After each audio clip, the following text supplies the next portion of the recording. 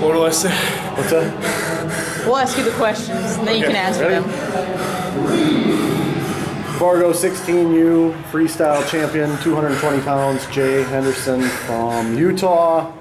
Wild finish to a wild match. Right. Uh, were you aware of the circumstances that, that you needed to score? And did, Yeah.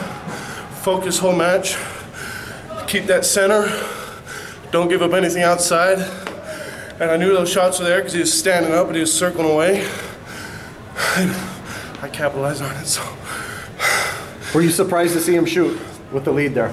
I was, yes.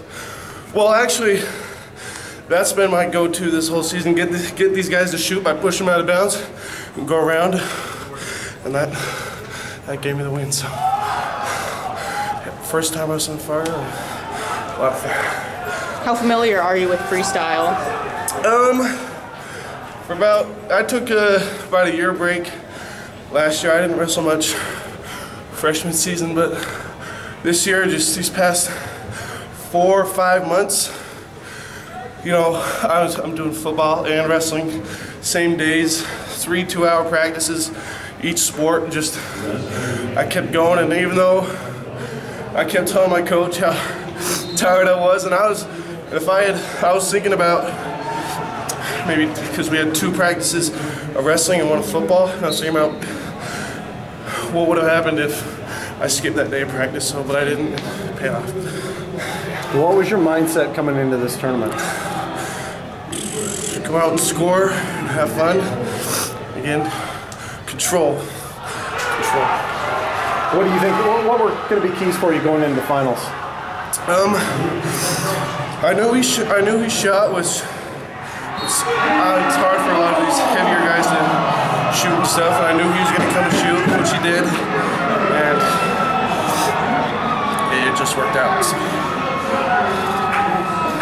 All right, you go from finishing sixth in Utah as a freshman to a state title as a sophomore. How do you explain the big jump?